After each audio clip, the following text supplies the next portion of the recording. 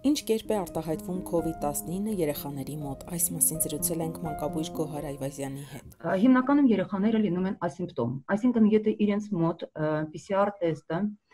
ցույց է տալի դրական տեստ, այսինքն SARS-CoV-2 վիրուսի նկատմամբ կա դրական պատասխան, Չնայած նրան երեխաները ունեն ոչ մի կլինիկական դրսևորում, այսինքն իրենք մնում են ասիմպտոմ։ Մյուս կլինիկական դրսևորումը, որը կարող է լինել, դա թեթև դրսևորումն է, դրսևորումն է, որովհետև այստեղ կան կլինիկական նշաններ, Սակայն չկա թոքաբոր, հա, եւ մենք ունենք այն բոլոր նշանները, որոնք բնորոշ են վերին շնչուղիների ինֆեկցիային։ Այսինքն երեխան ունենում է ջերմություն, հասկ, քթի փակվածություն կամ քթի հոսք, կոկորտի ցավ, տարբեր ցանավորումներ։ Լինում է նաև որովայնացավ արտահայտված փորլուծությամբ։ Դեռահասության շրջանում գտնվող երեխաների մոտ կարող է լինել նաև գլխացավ։ Եվ մյուս ձևը, որը կարող է լինել երեխաների մոտ, դա թոքաբորբ է։ Եվ եթե մենք սենց էքսկուրս տանենք մինչև այս մեր ապրիլ ամսից մինչև հիմա, մենք ունեցել ենք թոքաբոր միջին ծանրության, հա, ինչ է դա նշանակում։ Երեխան ունեցել է ջերմություն, ունեցել է չոր հաս, կարող է լինել նաև խորքով հաս, բայց հիմնականում դա չոր ոչ պրոդուկտիվ հասն է։ Եվ մենք ռենտգեն հետազոտություն անելու ժամանակ տեսնում ենք նշաններ, որոնք բնորոշ են թոքաբորբի։ Այսինքն կարող է լինել կլինիկական, որ առանց ջերմության նույն կլինիկական նշանները մենք ունենանք, կամ ընդհանրապես չունենանք կլինիկա եւ ռենտգենով մենք տեսնենք թոքաբորբի պատկեր։ Այս ժամանակ կենսական այդ կարևոր օրգանների գործունեությունը չի տուժում, այսինքն մենք չունենք հեվոց, մենք չունենք սատուրացիայի իջեցում 92%-ից ցածր, այսինքն դեսատուրացիայի նշաններ երեխաների մոտ չի լինում։ Այս ընթացքում մեզ մոտ ընդամենը եղել է 1 երեխա 17 տարեկան դեռահաս,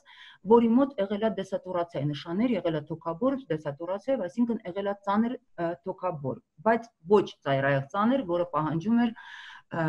ինտենսիվ թերապիայի բաժանմունքում հսկում։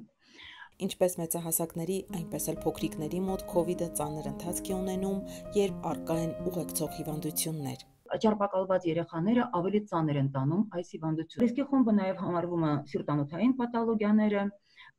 շաքարային դիաբետը եւ զարգերակային գիպերտենզիան, քանի որ մենք գիտենք, որ այդ վիրուսը ռեպլիկացիա արվում ԱՊＦ ռեցեպտորների միջոցով եւ եթե կա մեզ մոտ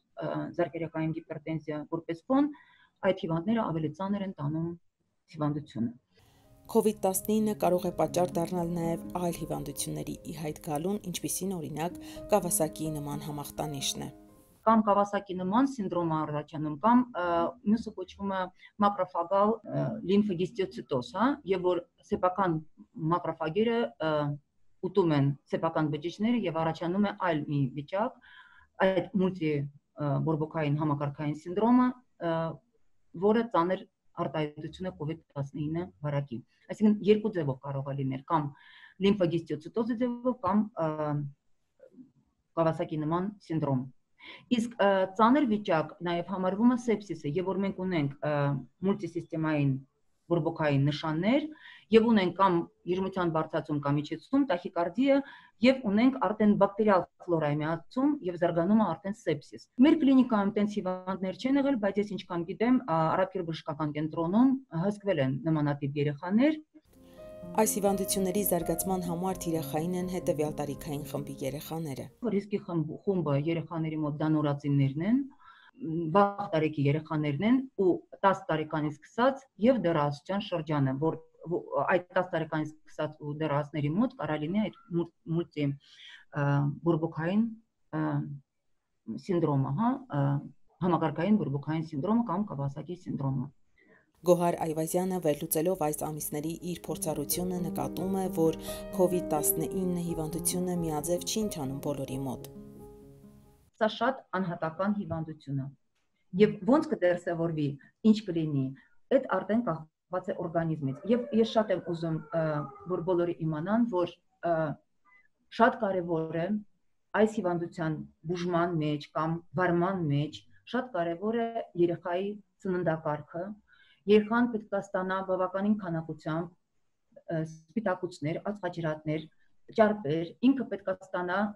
նորմալ քանակի բոլոր վիտամինային կոմպլեքսը, այսինքն վիտամին A, C, D